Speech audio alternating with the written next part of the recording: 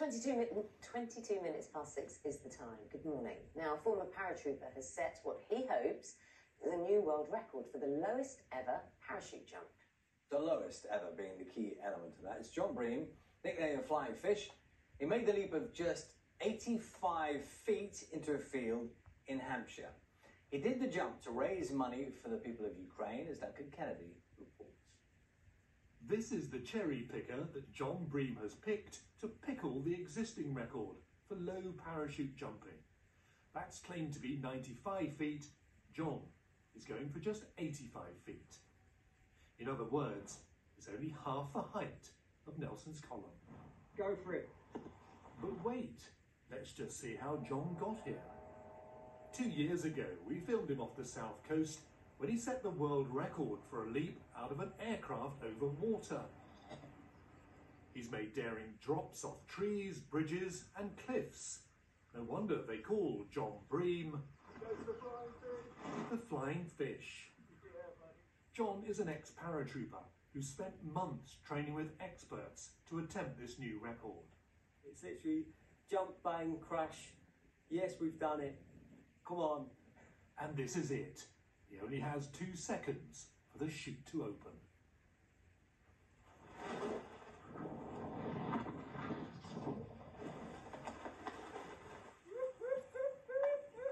He's hit the ground at 25 miles an hour.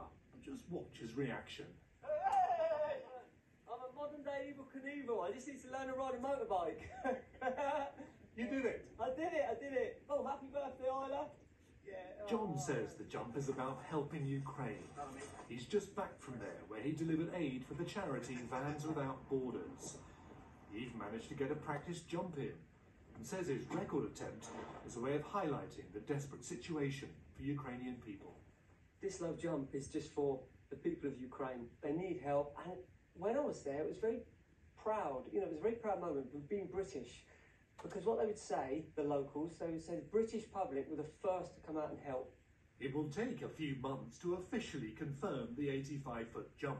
Go for it. But in the week of the solstice, this is what John might call a Midsummer Night's Dream.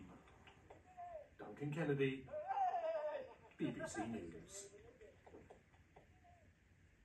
Delighted, isn't he? He really is. It's kind of one of those things you have to see to believe in a way, isn't it? And the jump off the building as well when he was in Ukraine. Yeah, you and also you don't think if you, you say to someone, "I'm jumping 85 feet," but then you realise just how precise he has to be. Um, it is time to get the news, travel, and weather where you are. See you shortly.